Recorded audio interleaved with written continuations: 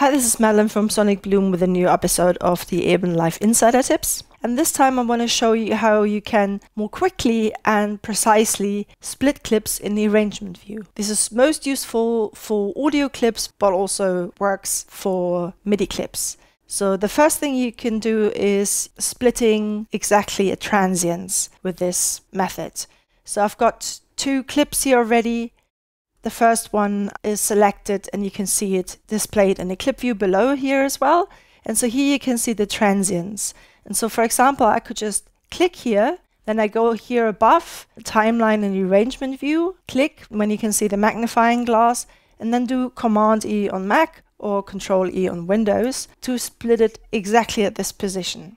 And then we can continue this uh, for the whole clip. So you could keep certain parts and then get rid of other parts of the clip. One other tip, if you want to do this for the whole clip, then it's most useful to start at the end because right now, if I want to split the clip here, you can see this is grayed out because this is not part of the clip anymore because it's, it's the first one that's selected of the two that are created with the splitting.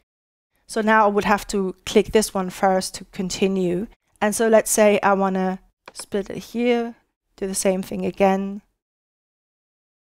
and then it's split, and so on and so forth. But of course, you don't have to do this along the transients. You could also say, okay, I want to split it exactly here, select it, click above here again, use the shortcut, and then this is split as well.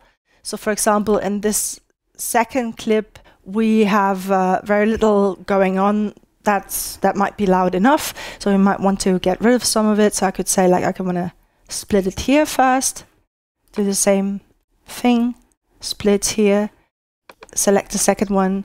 And for example if I click here you can see the transient would cut off a, a part. So I could just select some zoom in and then say okay let's um, split it here instead. And click up here, do Command E, and it's been split.